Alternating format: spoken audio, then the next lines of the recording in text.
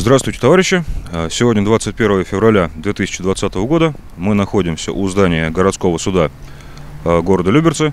А, Сегодня закончился судебный процесс по иску рабочих Трекл по поводу незаконных дисциплинарных взысканий. Станислав, расскажите, пожалуйста, как прошел судебный процесс? Но сегодня нам удалось э, доказать несостоятельность э, предъявленных обвинений со стороны работодателя. Они хотели обвинить нас в том, что мы нарушали внутреннюю дисциплину. В... Нам были предъявлены выговоры.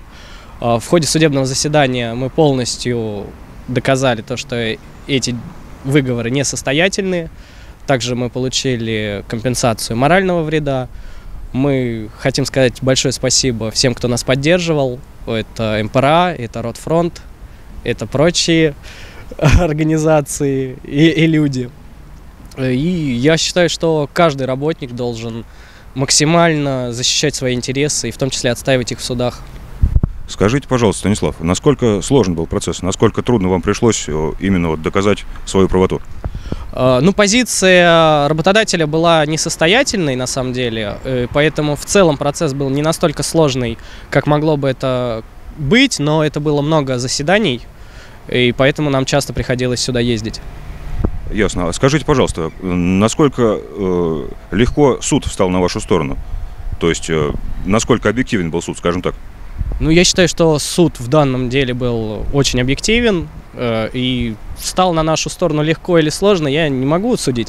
Но представленные доказательства, тем не менее, дали суду возможность сделать свой вывод. А, Станислав, скажите, пожалуйста, а как вы считаете, э, чем были вызваны вот эти фиктивные выговоры, как мы сейчас уже понимаем, э, со стороны работодателя? Я думаю, это было сделано для того, чтобы иметь возможность нас уволить, но в первую очередь это все-таки давление за нашу профсоюзную деятельность на производстве.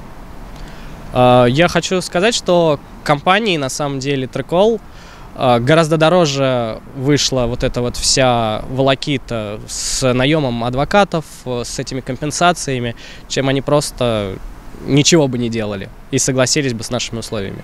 Ну, то есть такая экономическая промашка вышла с их стороны. Э, Думаю, да. Думаю, им это дорого обошлось.